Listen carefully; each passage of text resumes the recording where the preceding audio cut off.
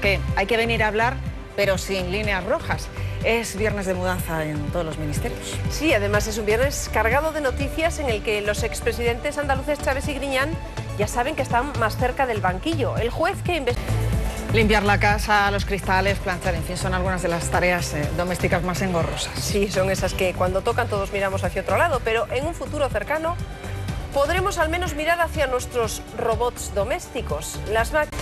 Y ya conocemos a esos 23 nominados al premio de Best, el mejor que la FIFA entrega cada nueve. Bueno, casi la mitad de ellos, seis de los 13 ministros eh, son nuevos. Algunos, desde luego, no necesitan presentación. Eh, estamos pensando en María Dolores de Cospedal, por ejemplo. Ella no ha tenido cartera en el gobierno, pero lleva años como secretaria general del Partido Popular. Su compañero y amigo, eh, Juan Ignacio Zoido, nuevo ministro de Interior, ha sido alcalde de Sevilla.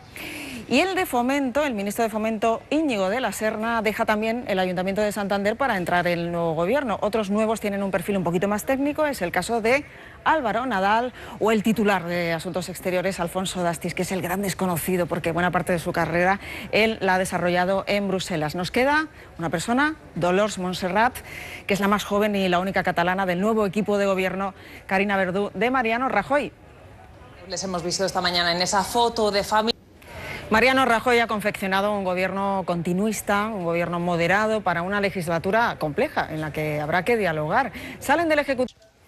Chávez y Griñán, los dos expresidentes de la Junta de Andalucía, están ya a un paso de sentarse en el banquillo de los acusados por el caso de los seres falsos. Sí, porque el juez que se ocupa de la parte política de este macrocaso acaba de abrir juicio oral por los delitos de prevaricación, malversación y asociación ilícita. Sevilla, Elena Álvarez.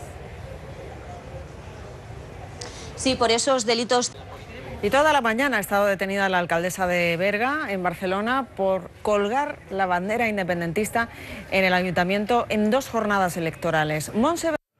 el PSOE tiene por delante una fase complicada. Cada vez parece más claro que su dirección no va a renovarse hasta que pase un tiempo y se calmen los ánimos. Es un tiempo en el que pueden además surgir nuevos liderazgos y en el que también tiene que quedar clara la relación con el PSC catalán. Laura solo tenía 12 años, su cuerpo no pudo tolerar tanta cantidad de alcohol. No era la primera vez que le ocurría y había necesitado atención médica en dos ocasiones antes. Sí, la noche de Halloween eh, participó en un botellón, en un descampado y desde allí sus amigos la trasladaron al centro de salud, pero no llegaron a tiempo. Tú, Marisa Dorta, estés ahí en el lugar del botellón, en el descampado.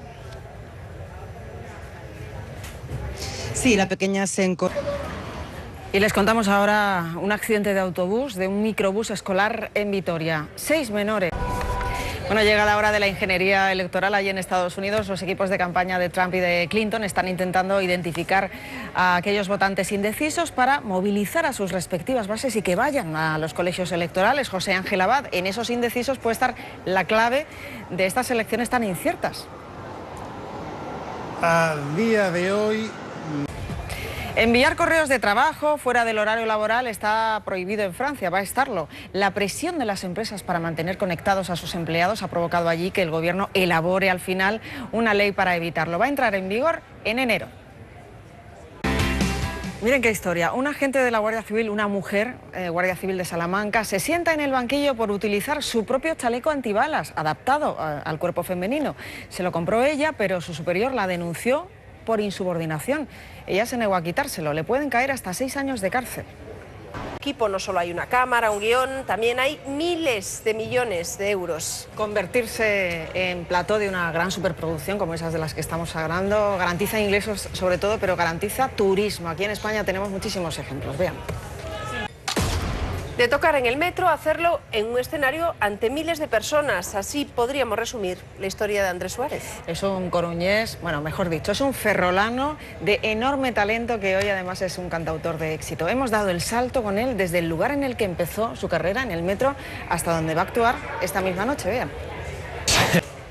Felicidades a la Fundación de Isabel Gemio. Llegan ya los deportes, cinco madridistas, cuatro barcelonistas y un atlético entre los nominados al premio de Best de la FIFA. Y nosotros como cada día le recordamos que tiene una cita a las nueve con las noticias en Antena 3 con Mónica Carrillo hoy.